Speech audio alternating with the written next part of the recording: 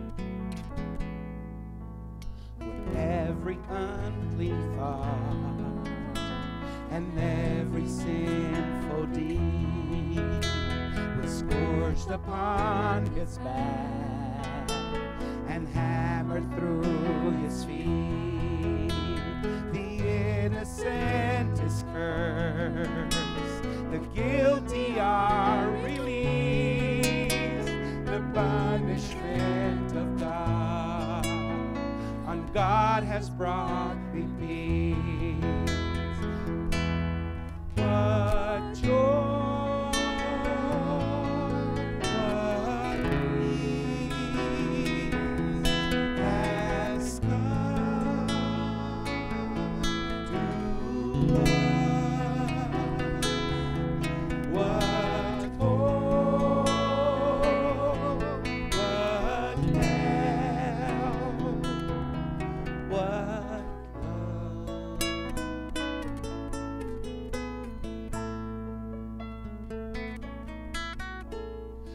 Lay your heavy load down at the Master's feet. Your shame will be removed. Your joy will be complete. Come crucify your pride and enter as a child. For those who bow down low, he'll lift up to his side. What joy,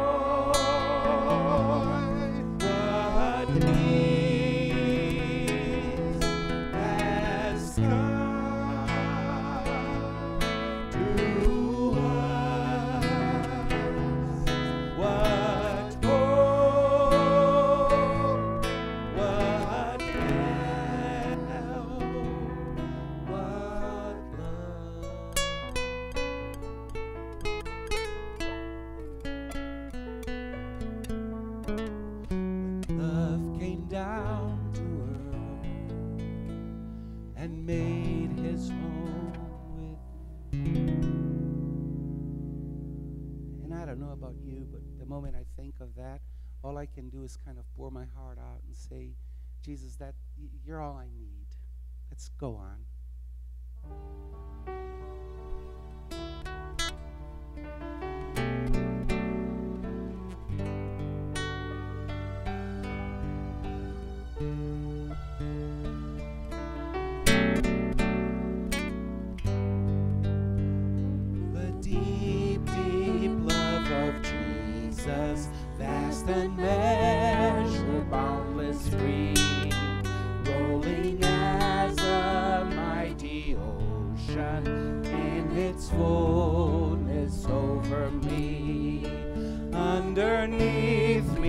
all around me, is the current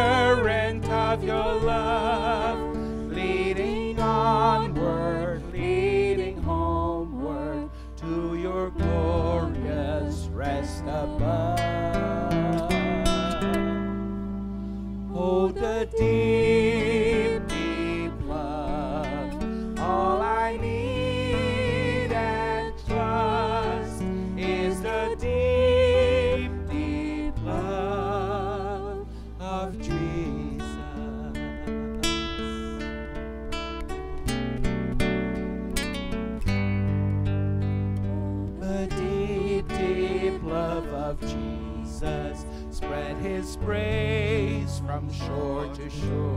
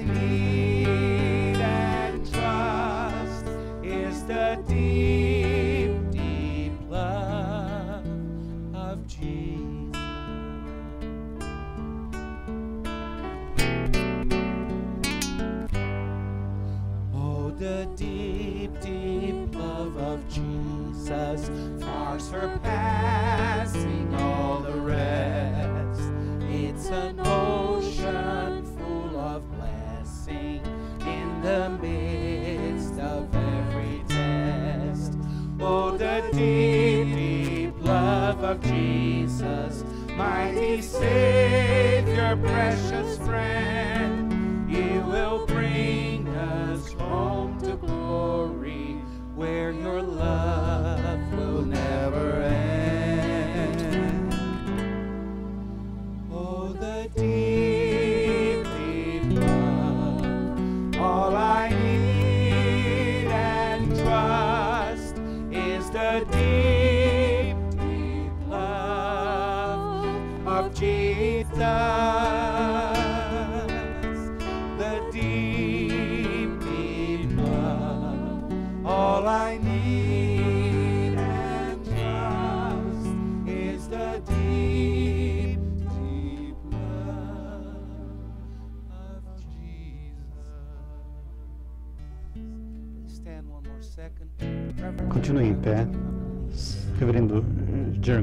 Você gostaria de orar por nós, por favor?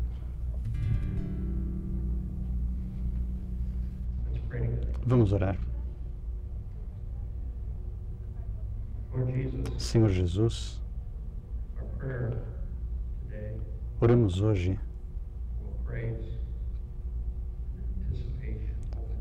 para a, a nossa antecipação da alegria que teremos pelo poder do Teu Espírito. Tu vais abrir as nossas mentes e corações, nossas almas.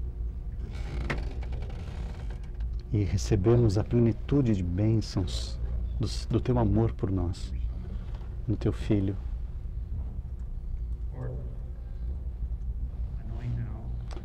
Unge-nos, unge o nosso preletor, o Cris, capacita-o pelo Teu poder, pela Tua verdade graciosa e amor. Buscamos nesse dia fazer tudo para a Tua glória e o povo de Deus disse amém. Obrigado, podem sentar o nosso primeiro palestrante. Então, Chris, você praticamente não precisa de uma apresentação, eu apenas diria que ele é um homem de Deus que fala a palavra de Deus. Eu o conheci em Beirute. Havia uma surpresa desde que nos ficamos juntos. Todas as vezes que eu vejo explanando a palavra, eu sou tocado. Então, nesse mesmo espírito, vamos ter nosso querido irmão David Chris Wright. Bom dia, é uma alegria estar com vocês. Então, no seu manual você vai ver que eu nasci no mesmo ano que o Fred Bays, o que é um bom ano. Eu, foi, eu nasci na Irlanda do Norte, cresci na igreja presbiteriana, então são as minhas origens. Eu fui para a escola metodista quando era uma criança, depois na universidade eu, eu adorava com a fraternidade, o Brethren, uma dominação, denominação da Irlanda do Norte, e eu preservei as minhas raízes e bíblicas e a fé que partilhamos hoje. Então, é uma alegria estar com vocês hoje aqui no Brasil, o que na verdade é um país no qual os meus pais serviram por muitos anos é, quando eu era, antes que eu nascesse, o Brasil é um país que sempre teve um, uma atração para mim, porque a gente tem uh, algumas, que, algumas coisas do Brasil, como bandeiras, etc., lá em casa. Então é um prazer estar com vocês nessa manhã. Eu gostaria de ler o Salmo 133 e pensar uh, na palavra de Deus para todo mundo, a universalidade da palavra de Deus. Então, por muitos anos, eu ensinei no Colégio All Nation e lá na Inglaterra, no qual nós temos estudantes, alunos de todo o mundo. Na verdade, 50% dos nossos estudantes são internacionais, são de outros países, e parte do nosso trabalho durante aquele tempo era ajudar pessoas a ver a Bíblia e ler a Bíblia pelos olhos da de outras culturas, de pessoas de outras culturas. Como é que você vai ler 1 Pedro se você é nascido de novo, se você for um hindu, viver no contexto hindu? Então, quando se diz eu preciso nascer de novo, eu vou dizer, claro, eu sei que eu preciso nascer de novo, mas eu não consigo parar de ser um ser. Então, na cultura da reencarnação, como é que você lê a Bíblia em diferentes perspectivas, diferentes olhos, diferentes culturas? O que é preciso ser feito? É claro que precisamos fazer isso, quer queiramos ou não. O perigo, claro, quando nós estamos fazendo isso, é que nós é uma coisa como as verdades bíblicas absolutas ou uma perspectiva natural que nós costumamos chamar da verdade da Bíblia, que muitas vezes é reduzida àquilo que é verdade para mim, para você ou para um, alguém que mora na América Latina, um estudante universitário no Japão. Tudo que nós temos são apenas perspectivas e, claro, que a resposta pós-moderna vai dizer, claro, talvez esse seja o caso, tudo que nós temos, essa verdade relativa, nada é universal. Então, o, nós temos aqui a, a, World Wide Web, a internet, mas nem tudo funciona assim. Então, o que, que é isso? Eu acho que nós queremos reafirmar que há uma palavra de Deus que ela vai para todas as culturas e as permeia e ela toca a todos nós e o que a palavra de Deus afirma nesse Salmo 33, que eu vou ler para vocês agora, porque é importante que a gente tenha isso diante de nós. Então, eu espero que você tenha uma Bíblia com vocês e abra no Salmo 33. Talvez você possa ter no seu celular ou tablet, eu não sei.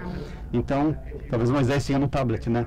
Então, vai Vamos para o Salmo 33, vamos ler. É, está aí a palavra do Senhor. Cantem de alegria ao Senhor, vocês que são justos e os que são retos, fica bem louvá-lo. Louvem o Senhor com harpa, ofereçam-lhe música com a lira de dez cordas, cantem-lhe uma nova canção, toquem com habilidade para aclamá-lo, pois a palavra de Deus é verdadeira e é fiel em tudo o que faz. Ele ama a justiça e a retidão, a terra está cheia da bondade do Senhor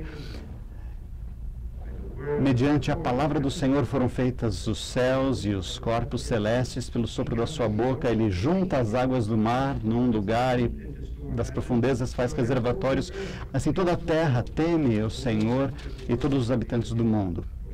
Porque ele falou e tudo se fez. Ele ordenou e tudo surgiu. O Senhor desfaz os planos das nações e frustra os propósitos dos povos, mas os planos do Senhor permanecem para sempre os propósitos do seu coração por todas as gerações. Então, como é feliz a nação que tem o Senhor como Deus, o povo que ele escolheu para lhe pertencer. Dos céus olha o Senhor e vê a humanidade. Do seu trono ele observa todos os habitantes da terra. Ele que formou o coração de todos, que conhece tudo o que fazem. Nenhum rei se salva pelo tamanho do seu exército, nenhum guerreiro escapa pela sua grande força, o cavalo é vã esperança da vitória, apesar da sua grande força, é incapaz de salvar. Mas o Senhor protege aqueles que o temem e aqueles que firmam a esperança no seu amor, para libertá-los da morte e garantir-lhes vida, mesmo em tempos de fome. Nossa esperança está no Senhor, Ele é o nosso auxílio e a nossa proteção. Nele se alegra o nosso coração, pois confiamos no seu santo nome. Esteja sobre nós o seu amor, Senhor, como está em ti a nossa esperança. Amém. Então, vamos começar dizendo que este é um salmo que fala para toda a terra. na, no versículo 5 e 8, e todos os que vivem na terra no verso 13. Então, isso afirma que todo mundo é o mundo de Deus. Exatamente o mesmo tipo de combinação daquilo que é o Deus de Israel, o Deus desse povo e universal, o Deus de todos. Quando nós fazemos ah, o credo do Antigo Testamento dizendo que o Senhor, que Jesus é Senhor, é o Senhor, eh, Jesus de Nazaré, o filho do carpinteiro do século I. Jesus é o Senhor, Kyrios. E Salmo 33, então, especificamente, celebra isso e começa e termina de uma maneira maravilhosa então, no começo e final do salmo, e talvez no meio, mas ele começa louvando a Deus, versos 1 a 3. E ele termina com uma afirmação de confiança e esperança no Senhor, no versículo 20 a 22, nos três últimos versos. E entre eles, então vem essa grande razão para o nosso louvor, versículo 4, e termina com essa fundação para a nossa esperança. Então, o salmo começa com louvor e vai e termina com esperança. E eu confio de que isso é alguma coisa da jornada dinâmica que nós teremos nos próximos minutos. Vamos louvar a Deus, acabamos de fazer isso, gastamos esses últimos minutos na Sua palavra e nós estamos construindo nossa fé e esperança. Então vamos começar com os versículos 4 a 5, que eu chamo da palavra de Deus que transforma o mundo, o mundo, poder transformador de Deus, colocando o mundo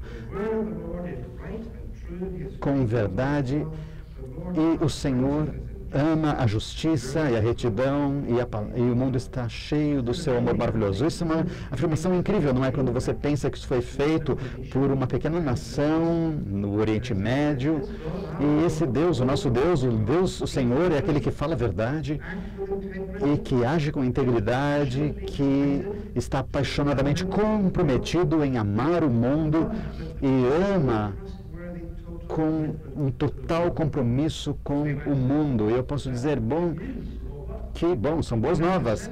Mas, em algum senso, é, é, essa abertura do Salmo, ela traz a boa nova do Evangelho, do Deus que criou e governa o mundo. E as boas novas são porque nós vivemos num mundo que é precisamente o oposto de todas essas coisas. Nós vivemos num mundo que está cheio de mentiras, não de verdade, com decepção, não com integridade, com engano e opressão e brutalidade e injustiça. E nós tentamos dizer, bom, onde quer que você olhe no mundo, você vai encontrar essas coisas: opressão, maldade, sofrimento, mentira. A gente pode dizer, bom, são fatos universais sobre a humanidade, não são? E o Salmo concorda, sim, é, são, mas há uma outra questão universal, a universalidade de Deus, do Senhor Deus em si. Ele é o Senhor, o Deus que vai organizar as coisas, ele é o Deus que exercerá justiça e retidão no mundo e vai fazer isso através da sua palavra, porque a sua palavra é a verdade e o amor e justiça. Mas talvez você me pergunte uma coisa eu me encontro geralmente me fazendo perguntas com relação aos autores bíblicos que se envolvem e, e fico imaginando uma conversa com ele. Se eu pudesse ligar para ele e falar: Desculpe, eu estava aqui lendo o que você escreveu. Como é que você sabe disso? Como é que você sabe que Deus de Israel é o Deus de verdade e justiça e, e amor? Se, se você passar pelo Salmo com uma pergunta, você provavelmente é, diria, bom, eu preciso contar algumas histórias. Você me pergunta como é que eu sei que Deus é fiel? Bom, deixe-me contar uma história daquilo que ele prometeu a Abraão e como muitos anos depois ele manteve essa promessa. Então, quando ele nos tirou do Egito, se você me perguntar como é que eu sei que Deus é o Deus da justiça, da retidão, deixe-me dizer o que ele fez para os egípcios quando eles estavam nos oprimindo e nos libertou e nos criou e nos tirou de lá. E se você me pergunta como é que eu sei que Deus é amoroso, então, quando a gente estava no deserto, como é, nós estávamos sendo tão infiéis com eles de todas as maneiras e contudo Ele continuou a nos perdoar, a nos amar e nos trazer para essa terra.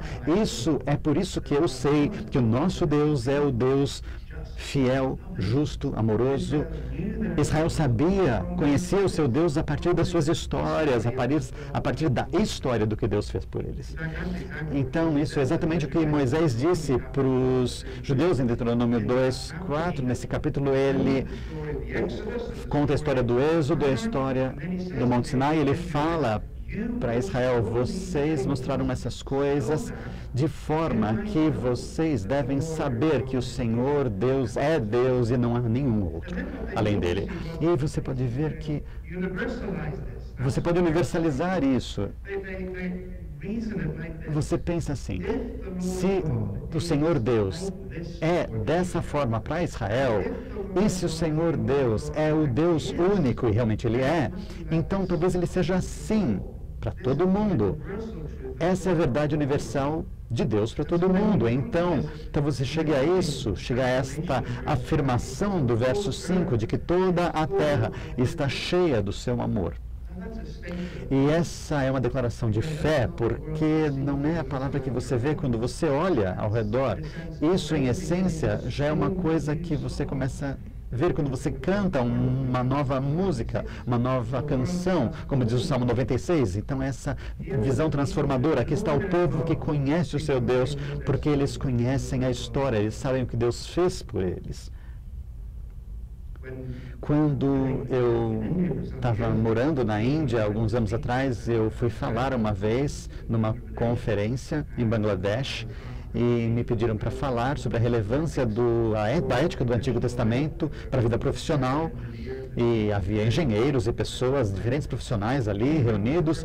E depois da minha primeira sessão, um jovem veio para mim e disse: Olha, eu estou tão contente que você está nos ensinando a partir do Velho Testamento, porque eu me converti lendo o Velho Testamento. E geralmente a gente não ouve isso. Então, aquilo que o Antigo Testamento ensina. Como é que aconteceu isso? Me conta. E esse homem. Uh, ele era um, um oprimido na sua vila porque ele não pertencia às principais castas e ele sofria todo tipo de violência e discriminação. Ele falou: Olha, eu tinha um grande desejo no meu coração de ter uma boa educação e ter um melhor emprego e eu não conseguia porque eu era tão oprimido. Então, quando eu fui para a universidade, cheguei lá na sua cama, ele estava no dormitório e havia uma Bíblia lá. E foi colocada lá por uma união de estudantes evangélicos, um movimento de estudantes evangélicos da Índia que coloca uh, Bíblias ali. E ele falou: Bom, isso é um livro cristão, eu nunca li. E ele abriu ao acaso, e aí ele chegou numa história. E essa é a minha história. Então, é a história daquele, do roubo da terra de Nebote, Nabote e então, esse é o tipo de coisa que acontece para gente. Então, era uma história de resignação, e aí ele virou a página e ele viu ali um Deus cujo nome ele nunca ouviu, mas esse Deus mandou o seu mensageiro Elias para condenar o rei por ter feito isso. Então, isso é incrível, que haja um Deus que vai ficar do lado dos pobres contra o rei. E ele disse essas palavras para mim e falou: Olha, eu não sabia de que havia um Deus assim o Deus que ele encontrou no Antigo Testamento. Então, ele começou a ler a partir de Gênesis, Êxodo, Levítico, ele chegou em Levítico, Deuteronômio e disse, nossa, o Deus pensa sobre tudo, ele me falou. Tudo está aqui. E esse Deus é incrível. Há uma completude sobre tudo na vida. Então, ele continuou ler até é, Isaías e viu como Deus ama. Ele falou, nossa, eu conheci um Deus de justiça, não um Deus de amor. E nesse ponto, um dos estudos dantes chegou e o levou até Cristo. Uma história maravilhosa, mas o ponto que eu estou fazendo aqui é o que geralmente nós, em alguns casos aqui, cristãos ocidentais que achamos meio perturbador do Deus do Antigo Testamento, este homem achou atraente. Aqui está o Deus que faz justiça, o Deus que está do lado de pessoas como ele. Então, a partir da história do Antigo Testamento, ele encontrou a realidade do caráter de Deus. Então, esta é a importância dessa história bíblica, a verdade que é revelada naquilo que Deus fez. Ele agiu no passado, no presente, e como vimos na noite passada, nos dá esperança para o futuro. A palavra de Deus é uma palavra que transforma e que coloca o mundo no lugar certo. Então vamos voltar para o autor desse salmo e como é que a gente, como é que ele pode ter certeza disso? Então como é que Deus do, de Israel, essa nação tão pequenininha, como é que é, pode haver tal Deus capaz de alcançar justiça e retidão para toda a terra? Eu acho que, se você me perguntar essa pergunta, eu vou ter que sentar de novo e pensar: bom, esse Deus que se revelou para nós não é apenas um Deus do pequeno Israel, porque a Bíblia não começa em Êxodo. E, como eu falei um tempo atrás, mas na verdade ela começa em Gênesis, e o Deus que nós conhecemos é o nosso libertador. Na verdade, é o Deus de toda a criação. Então, ele é o Deus de toda a terra, porque ele é o Criador de toda a terra. Então, isso, na verdade, é o que vem a seguir. Porque nos versos seguintes, quando nós lemos que Deus estava criando com Sua palavra, trazendo o mundo à existência, versos 6 a 9, pela palavra de Deus, os céus foram feitos. E, novamente, isso é uma afirmação incrível e universal também, porque nós podemos ler essas palavras e dizer, bom, criação, etc. Mas não, é, pense nisso por um momento. Esse salmo está cheio do fato de que Deus trouxe todo, toda a existência a partir de si mesmo, simplesmente falando. Ele falou e aconteceu. Pense em todas, em todo o escopo incrível que essa afirmação tem. Toda a informação que nós usamos nessa palavra que criou o cosmos, tudo necessário para criar e organizar e sustentar e governar todos os processos do cosmos e que nós simplesmente temos as equações, o tempo e espaço, os planetas, bilhões de estrelas, milhões, bilhões de bits de informações que estão em cada uma das células do nosso corpo, no código genético do DNA. Mas, alguns anos atrás, quando eles revelaram isso, nós tivemos esse momento maravilhoso na história da ciência, quando todo mundo disse: Nossa, nós não podemos ler o genoma humano.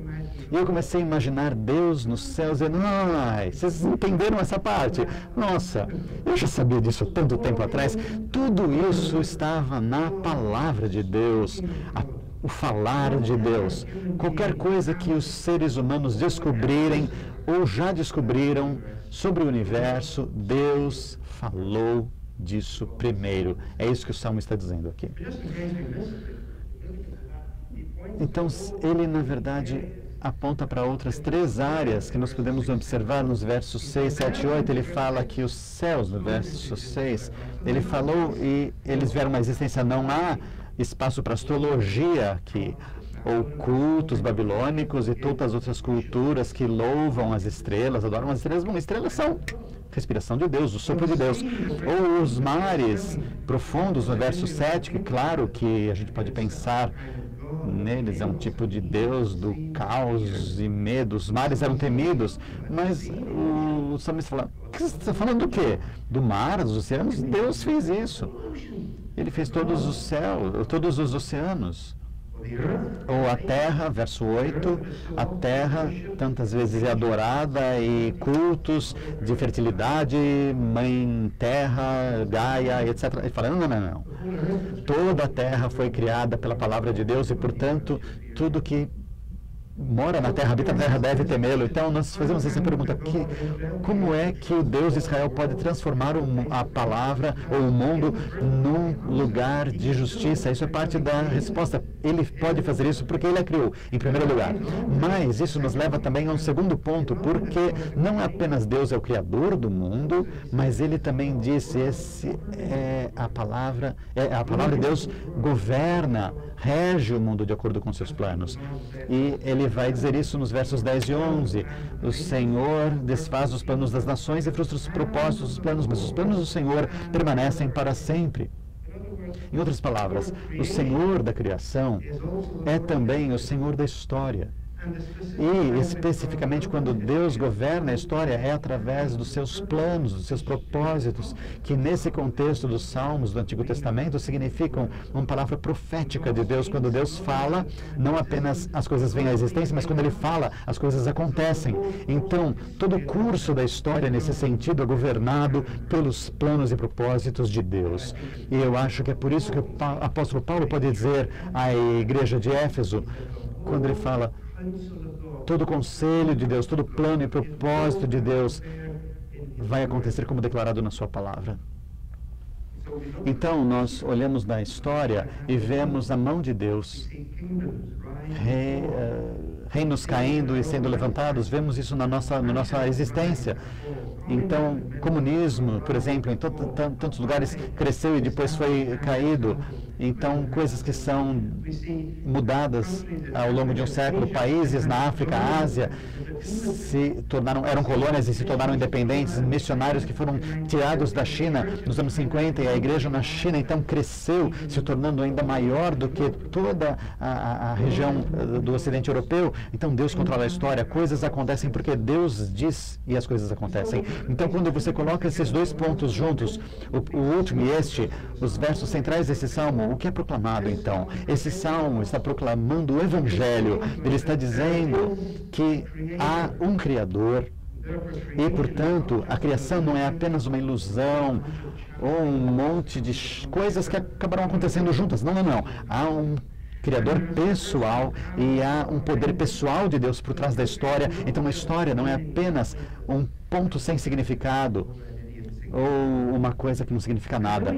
Mas quando nós juntamos isso tudo, o Criador, o poder governador de Deus e a criação na história, claro que nós chegamos ao Evangelho do Novo Testamento, quando nós chegamos nisso, entendemos o Evangelho como aprendemos a partir do Senhor Jesus e dos apóstolos, ele vai se refletir no sentido de que, no final das contas, toda a criação e toda a história é a partir de Cristo e para Cristo, porque Ele é a palavra criadora de Deus e a palavra redentora de Deus. Então nós vemos a centralidade do senhorio de Cristo afirmando desde o início da grande comissão, quando Jesus eh, citou lá de Deuteronômio, colocando nas suas, nos seus lábios as palavras faladas por Deus, toda autoridade nos céus e na terra, toda a criação, disse Jesus, foi dada para mim.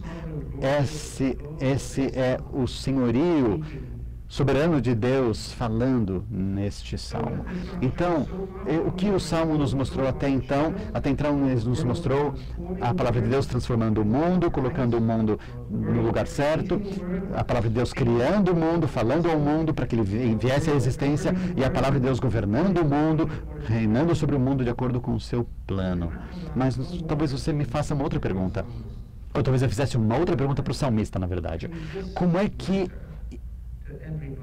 isso pode importar para todo mundo no mundo. Como é que Deus falou e aquilo que Deus fez para as pessoas de Israel afetar todos os demais no planeta? Você acha que Deus realmente se importa? Será que Deus realmente vê tanto? Será que Deus está envolvido de alguma maneira em toda a vida humana, além de Israel? E o salmista vai dizer: Claro, porque não é apenas aquilo que nós vimos até então, mas isso também é Deus olhando a palavra de Deus, colocando o mundo para perto dele, porque você pode ver que aqui Deus é o Deus que olha e vê e sabe, conhece. Então, versos 13 a 15: Dos céus olha o Senhor e vê toda a humanidade, do seu trono ele observa todos os habitantes da terra, ele forma o coração de todos e conhece tudo o que eles fazem. Aqui está o Deus que vê, que observa e que considera. Ele faz isso para todos aqueles que vivem na terra. Então, isso é uma afirmação universal sobre a criação. Esse Deus sabe conhece todos os seres humanos que já viveram nessa terra ou ainda viverão. Ele os vê, ele os entende, se preocupa, considera-os, sabe o que eles fazem, sabe o que eles pensam sobre aquilo que eles estão fazendo, conhece suas razões, suas suas motivações, o seu poder universal, mas há um conhecimento muito local. Será que a gente pode perguntar para esse escritor como é que você sabe disso? Onde é que está essa, de onde vem essa compreensão de Deus? E ele vai dizer: Sinta um pouquinho, eu preciso te contar uma outra história. Porque você já ouviu falar de Agar no Antigo Testamento?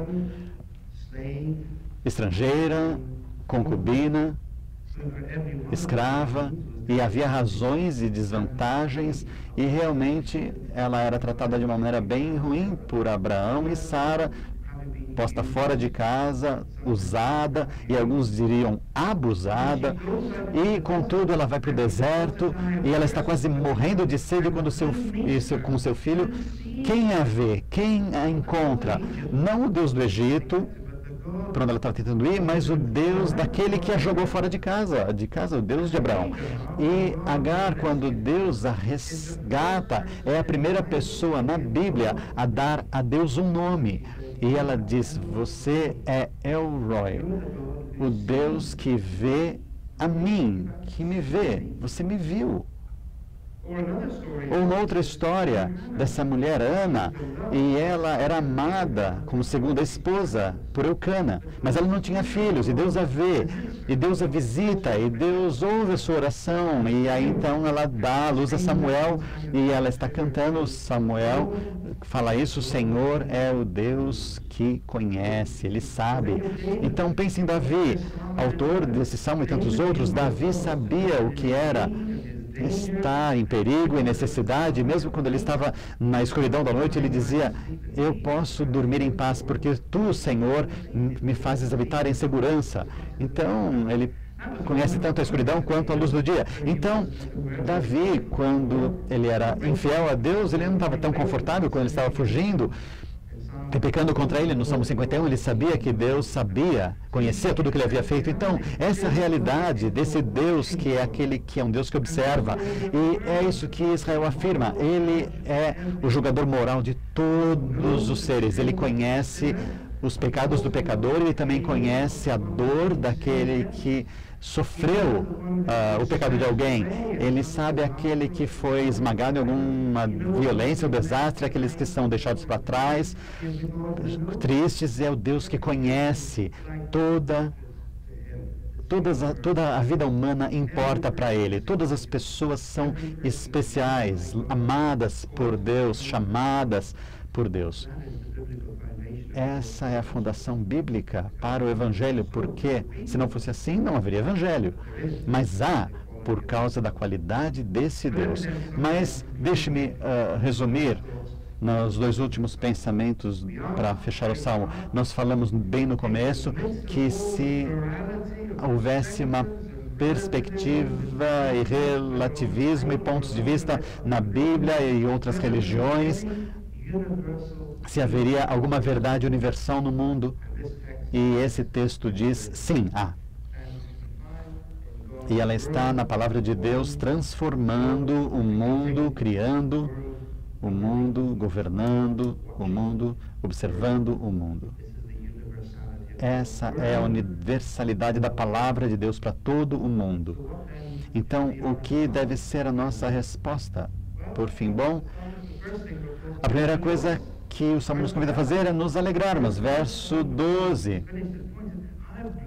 Como é feliz a nação que tem o Senhor como Deus.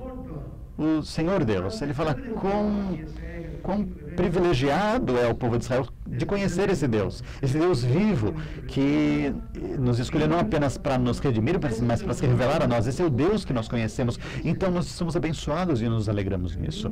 E nós também, povo que conhece esse Deus. E o conhecemos ainda mais nesse salmo, através da sua revelação, através de Jesus de Nazaré, Senhor e Deus, Redentor, Juiz e o Salvador também. Então nós temos essa palavra de Deus, como Moisés falou, de colocar isso no nosso coração e nos nossos lábios. E vamos ser gratos a isso. Vamos passar algum tempo nos alegrando no nosso conhecimento da palavra. Mas também nós somos chamados a lembrar, lembrar da onde vem a nossa salvação, mais precisamente da onde ela não vem. E é isso que eu penso que esse salmo está dizendo no, nos versos 16 e 17: nenhum rei se salva pelo tamanho do seu exército, nenhum guerreiro escapa pela sua grande força, o cavalo é vã esperança de vitória.